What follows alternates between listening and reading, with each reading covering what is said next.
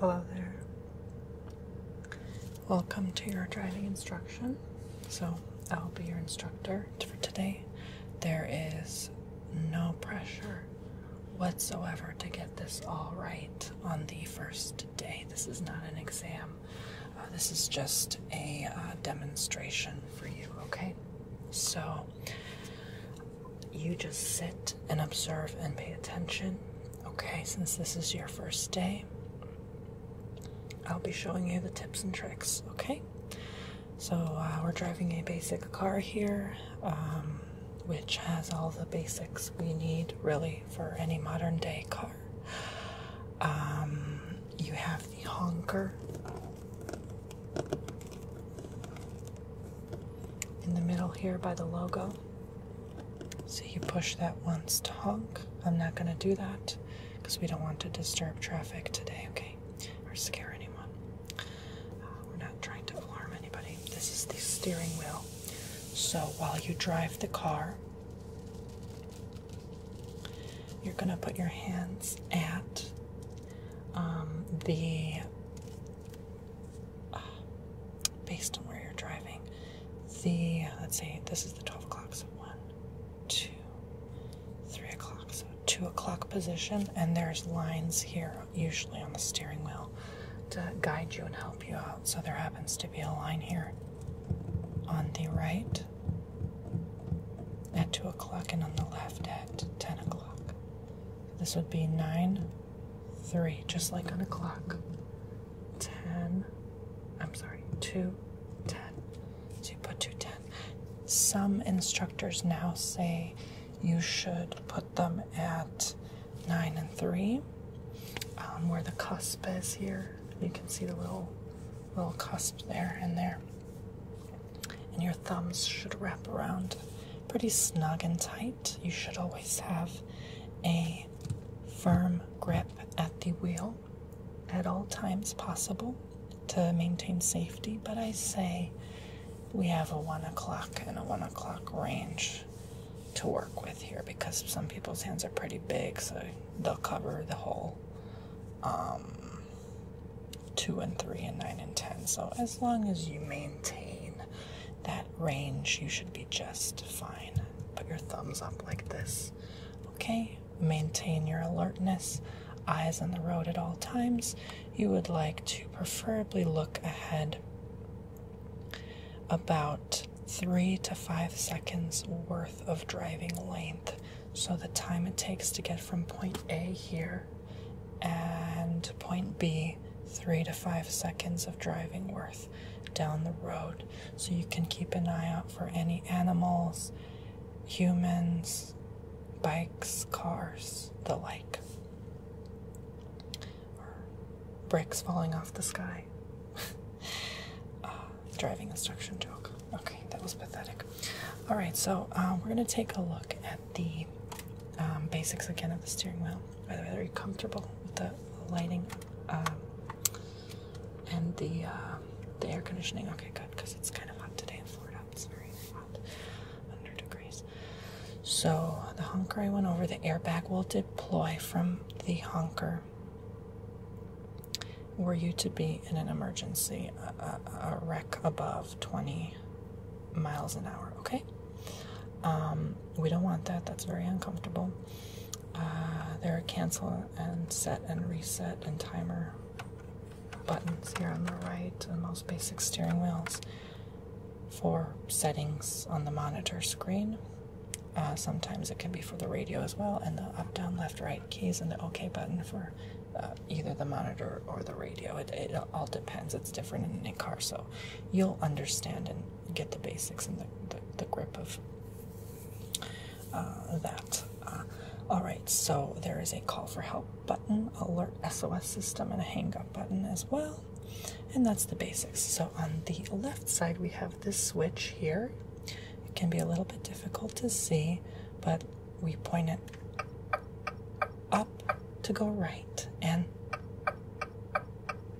down to go left. Okay? So down is left, is right. And it's easy to figure out because when you switch it up, it kind of tilts to the right. So when you feel it tilting to the right, you're going to know, oh, that's right. Down, it kind of tilts down to the left slope. And it kind of makes sense because on a graph we usually represent down and left, right? So anyway, uh, then if you push it that way, away from you, um, well, that did nothing for some reason, but uh, it's supposed to do the um, headlights. And then if you push it towards you, ah, that's the headlights on this car. Okay, great. So towards you is the the big lights.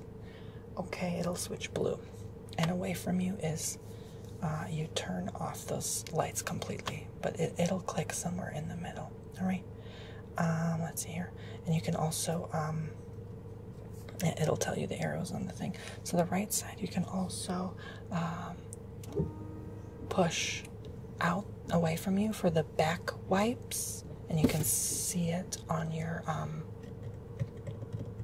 rear view mirror here, okay?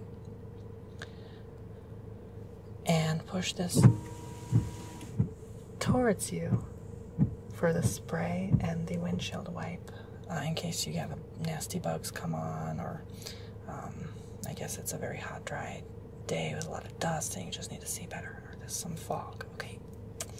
Um, you can also click and turn um, clockwise away from you. One switch just for wipe without spray, and the left switch just wipe without spray on the back as well. Any questions? Okay, so uh, this is a switch for the lights. This is regular light, and this is auto. Auto is off because we are in a sunny day, so there it'll detect on a foggy day or when it gets dark, like after seven o'clock. Um, sometimes six, sometimes eight o'clock. Um, it'll automatically turn on, um, and it's law to turn your lights on during a rainy, foggy day or when it's dark. Okay, so here's the radio. You don't need to know all that. I don't need to show you any of that. Air conditioning switches, yada yada yada. You know how to adjust your seat comfortably. You should be very close to your steering wheel. Um, as long as you don't squish your knees against the dashboard, you're okay. You don't want to be too far away because, in case of an emergency, uh, you're going to need to have fast access to your feet on the pedals. Um, so, if you're not, you're too laid back, listening to rap music, Cardi B, whatever you young kids do nowadays, and then you realize, oh no, I'm two seconds away from death oops, too late because I didn't listen to my driving instructor that one time I told. I was told to uh, put my seat close. So keep that in mind. You'll remember and mark my words. So um, the left center pedal is the brake. And you heard that click. I'll do it again. You heard that click? That's a click for the brake. The right pedal is accelerant and we're parked now so it's just going to accelerate in place and kind of rev your engine and get it going. So I did it again so you can kind of hear and how it warms up and makes a sound. Do not be on your phone device um, if you get caught nowadays. That is as bad as driving with um, a DUI you just don't want that okay? Um, I shouldn't say it's that bad but I'm just trying to scare you because they will no, it like in the courts, it's a big no-no, um, especially if you get caught speeding or violating or a stop sign or a red light, and they realize on your phone records, yes, they will track exactly the time they caught you on uh, uh, on in your car uh, making that offense, and they will have receipts of the time you texted someone or called someone, and they will see that you were in fact on your phone during that time big, big, big, big, big no no. You have to have your phone nowadays on a hook mount to your AC vent or your uh, windshield or your mirror. It is not allowed to be free handedly open like this. This is the offense, okay? That's as bad as eating and driving in some states. All right, so there's the charging point port for cigarette smoking. Um, just personally just as distracting as being on your phone. But anyway, none of my business. Uh, the pull on and off of parking emergency brakes. I'm not gonna turn those on now because that's a confusing mess. I'm not. They just gave me this car. I'm not familiar with Jeeps, so I've never seen this car in my life. Um, So I'm not about to get us stuck here in the, the middle of the, the heat today um, in case we run out of gas, uh, which we have half a tank. So I'm not going to play with that parking brake, but you know how to use that. You just nowadays in the manual switch pull to turn it on. So if you get caught really fast ahead of something and you cannot brake on time, you slam the brakes, which you should never do. You should always like firmly grasp it and push it. You should never just flat out slam because it, your car will skid and it will do the opposite effect of what you desire. So um, pull it on. It's just a button nowadays. You don't need to pull a full um, manual clasp as we used to. Uh, so it's safer. And then you just push it back for off or there's an off button right next to it usually. There's a compass in most modern cars now. Radio, media, phone, Bluetooth connectivity is highly recommended for your safety so that you don't have to keep uh, browsing your phone. You just have a monitor here to um, do your things for your apps, tune and browse, scroll, go back, volume switch, mute switch, uh, another uh, emergency SOS light, which will um, light up the back lights and tell people in the highway or whatever you are that you're in trouble and it's just like an emergency light. You do that if you have an emergency or tire pops and you're just calling an ambulance or for help or for police or something. And you gotta legally have those lights on. So that's that red switch here below the radio. Okay. Uh, lock, unlock, window.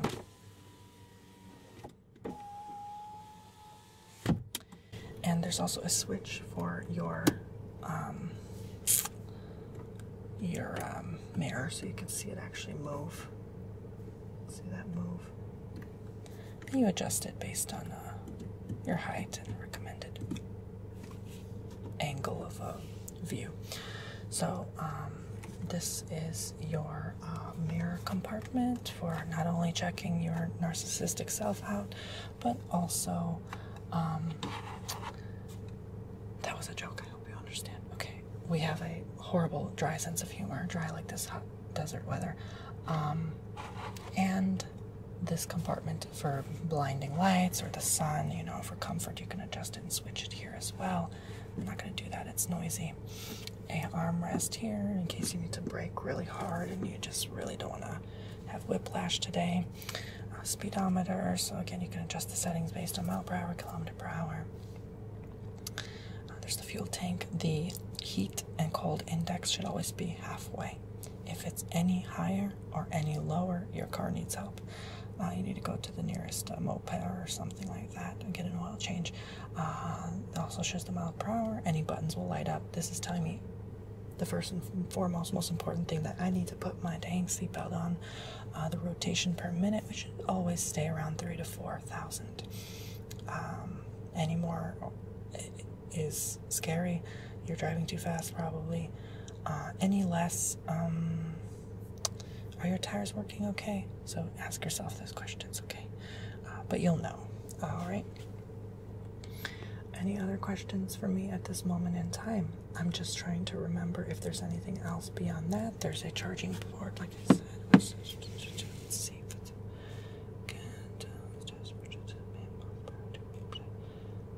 Safety measures. Okay, so there's a light here as well. What else? What other features does this car have? So, seat belts. Okay, so we're gonna go for a spin and just basic instruction, like I said. Ensure that the buckle clasps tight along your waist and your chest and shoulders, okay? Again, make sure your seat is high enough for your eyes to be halfway between the height of the windshield, okay? And that you can see above the engine tank of your car, okay? You don't want to be too low. And that's why I personally like uh, taller cars like this one so that you can have a wider range of view rather than feeling like a bug crawling on the floor. Uh, there's also a tracking device you can have in your car. It will detect bumps, and if someone um, is just interfering with your car or trying to get in, it'll uh, monitor that on your phone uh, with Bluetooth and it will tell you exactly on GPS where your uh, vehicle is at all times. Okay, so I highly recommend that. Uh, that way, your car is insured. Uh, if it's uh, lost or stolen, or damaged, and um, it's usually through your phone company. But I also recommend you always, always have car insurance, okay?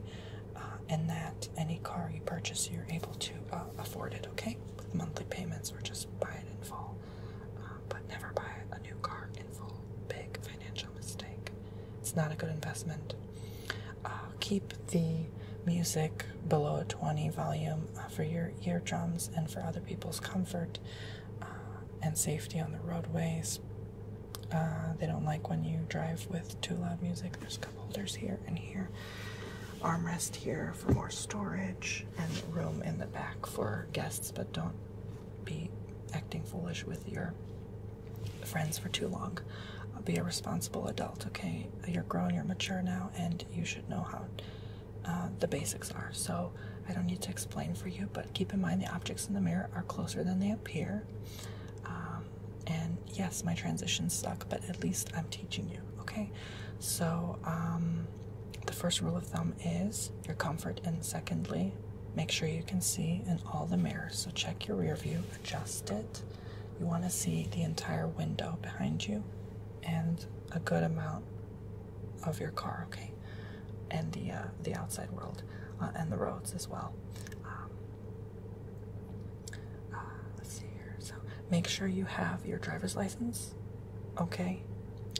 Your proof of insurance, and your vehicle's registration in your glove compartment over there. All right. Um, they will ask for that if you get stopped, and be very nice if you do get stopped.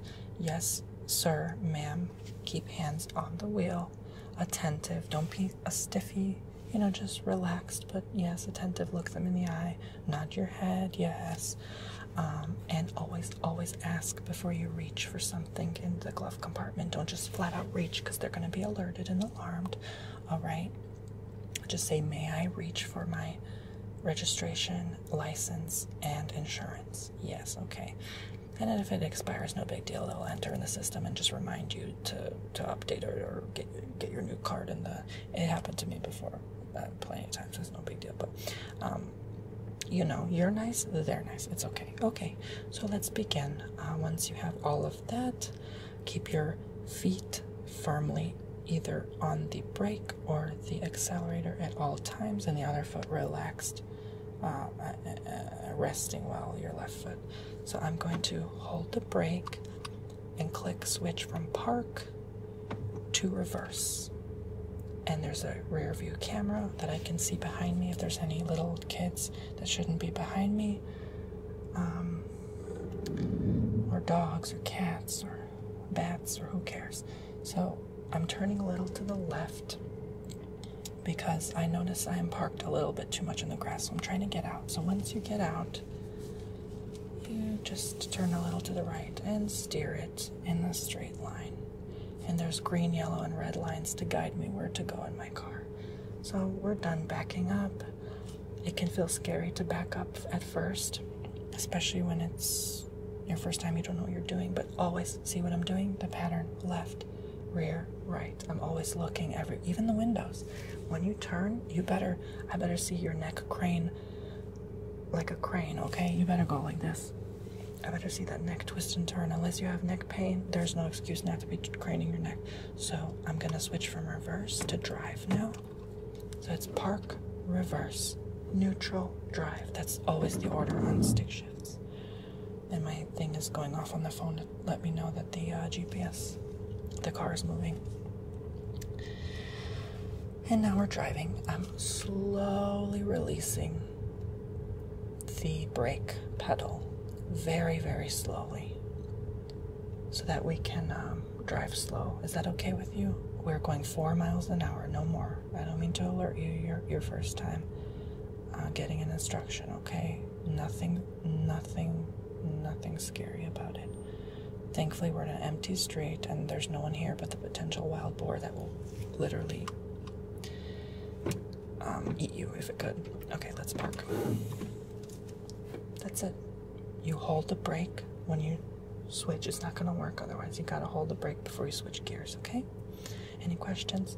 So the the um, this is a sport car, so it, it will have two settings for drive. Just ignore that. It's plus and minus. Never use those unless you're experienced with vehicles and know what you're doing. That wastes more gas. Jeeps alone waste a lot of gas, so we're not going to do that. But all right, so um, that was it. I'm going to teach you a couple turns. All right, so uh, ignore this part. I just have to uh, adjust the car to uh, set it in place. So you're not learning anything now. Just ignore me.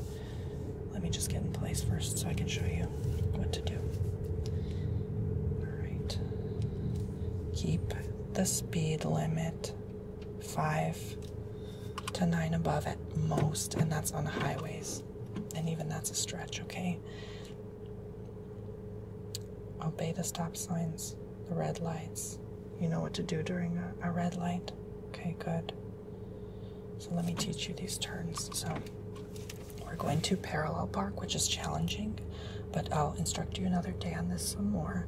So I have um, my foot on the brake, of course, reverse set in place. Instead of this, I'm switching my hands over now and preparing to turn the car. So I'm turning the steering wheel, slowly releasing the reverse, uh, I mean the brake. I'm angling and I'm doing this. I'm looking back to ensure that I'm going to park all right, okay? And then I slowly, you never want to do what I just did, but I'm doing it because something's here right now and I have no choice. But, um, I just parallel parked. Do you see how I all did that? You're not going to know the first time. It's going to be confusing. And then when you do that, you drive turn the wheels back and you'll get a felt sense. You will know your car. You will feel on the wheel what is right, what is not. And then park and release the brake. So we just went from over there, went like this, backed in, and turned it back and parallel parked. And this is for tight, crowded city environments where there's a lot of cars, lack of parking, and you need to tightly squeeze yourself in. All right, so next up is the K point turn. So this is the part you should know by today. It's very easy. So click, brake, drive, release, hands on the wheel, and turn them one over the other. See how I'm turning one over the other, one over the other, one over the other. And go very slow and release a little. You always want to release a little with your steering wheel. You don't want to lock it too tight because then you're going to risk getting it jammed and you have to call for help, AutoZone or whatever. Reverse, release the brake, and now you quickly, slowly release the brake, but very quickly turn the steering wheel back. Keep looking at reverse camera, rear view mirrors, windows, and when you get to the edge of the street, just like you did the first time. Edge of the street, back edge of the street. And again, drive and really quickly turn, turn, turn, turn until you can't turn anymore. Release a little. I'm almost there. I gotta reverse again. Quickly, quickly turn the wheel. Quickly, quickly, quickly, quickly. And edge of the street. And brake. And drive. And turn, turn, turn, turn, turn. And align with the edge of the road the right side of the road, okay? So, the challenge and the true test of time when you're driving on roads is, at least in the beginning, you're always going to think about, oh my god, it looks like I'm on the very edge. It looks like I'm going to hit the other car. You know, just trust in the process, but it's an illusion. Your car ends here, pretty much at, at that. Um, the edge of that mirror, which is very close to this window. So I would use this window more as a guidance um, as to where your car really is. From the front, it looks like your car is like almost touching the edge of the other side of the road, but it, it's nowhere near it. And a whole other car and a half can fit in that area. So you have most likely at least one fourth of a car space at all times between you and the other person on the other side of the road. So like a whole car most sometimes can even fit through. So I wouldn't worry about that unless it's a very tight, narrow road. Then you would take your time and do what it is you do. But I'm just gonna do one spin around the road, okay, to show you how it's done. All right, so I'm just gonna drive just normally. The, the speed limit here, there's no speed limit, but look what I'm doing. I'm just being attentive and um, and uh, oh, that's someone who's following me. Okay, and and looking around, right? Look, I'm turning. I'm looking ahead of me in both directions, making sure I don't hit anyone. We're just going very slow, okay? Rear view mirror, checking if someone's tailgating me, checking if someone's trying to pass me, checking for obstacles ahead of me, not being distracted by the hot guy ahead of me, attention to road name signs, where I'm going. Stop thinking about the dinner I'm gonna eat later tonight. Always, when you're driving, you're gonna think of what am I doing wrong? Okay? So, always pay attention.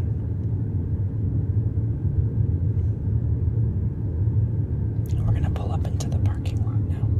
Okay? Brake and turn. Make sure no one's while I turn so they don't slam into me.